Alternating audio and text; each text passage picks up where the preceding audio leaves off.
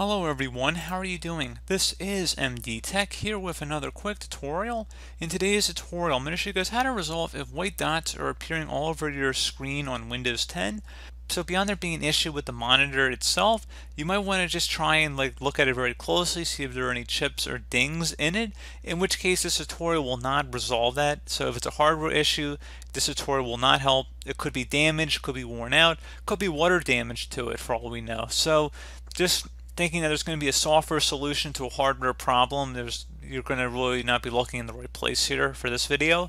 But if there's a software related issue here, we're going to go hopefully explore that and we're going to jump right into it. So first thing I'd recommend doing in the event of a software issue would be opening up the start menu, type in device manager, best result should come back with device manager here. Go ahead and open that up. Double click on your display adapter section and right click on whatever your display adapter is listed under here and select where it says update driver. Select browse my computer for drivers and then select let me pick from a list of available drivers on my computer. Select the manufacturer specific one unless you only have a generic option here like a generic driver in which case you do whatever options you have and then select next.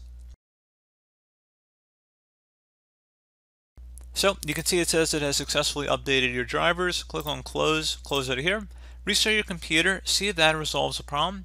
You can also go on to the website of the manufacturer of your monitor, make and model, and see if they have a specific driver available for your monitor that you can just download, like I said, for your make and model.